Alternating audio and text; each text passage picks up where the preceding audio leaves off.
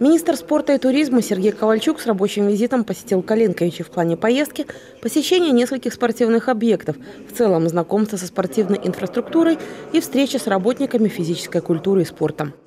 Мы ежемесячно посещаем регионы и, скажем, по очереди прошлом месяце была Брестская область, в этом Гомельская область. И место выбрали э, Калинковичский район, потому что в Калинковичах я еще до этого не был. Поэтому выбрали Калинкович. Я внимательно ознакомился, что сегодня есть для города, есть куда двигаться дальше, есть что развивать. Хочу воочию убедиться, посмотреть на сегодня на детские юношеские спортивные школы, потому что основа спорта это сегодня детские юношеские спортивные школы. Посмотреть сквозь призму детский юношеский спорт на спорт высших достижений, как осуществляется подготовка резерва для разных видов спорта. Здесь и гребля на байдарках, и каноэ, легкая атлетика, футбол, баскетбол, э, греко-римская борьба. Поэтому для нас это направление важно.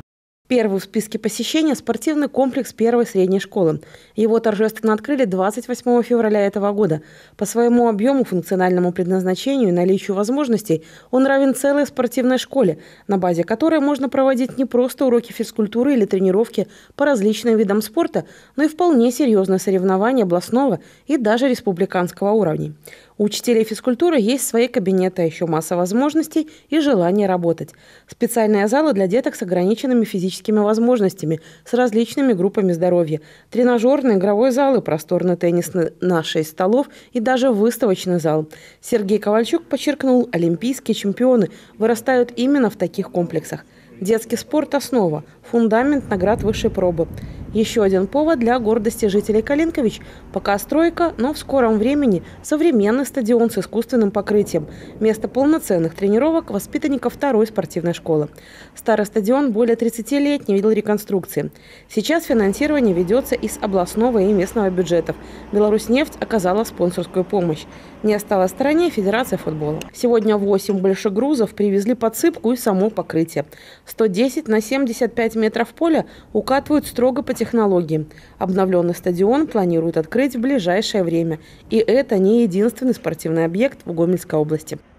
Гомельская область занимает второе место как среди Э, как говорится, спорта высшего, э, высших достижений, так и среди юниоров. Я могу сказать, не только достигает, достигала, достигает и будет достигать в ближайшем будущем, потому что та материальная база не только на Мозырщине, но и на Гомельщине позволяет достигать этих, э, ну, на мой взгляд, успехов, которые прославляют нашу родину за границей.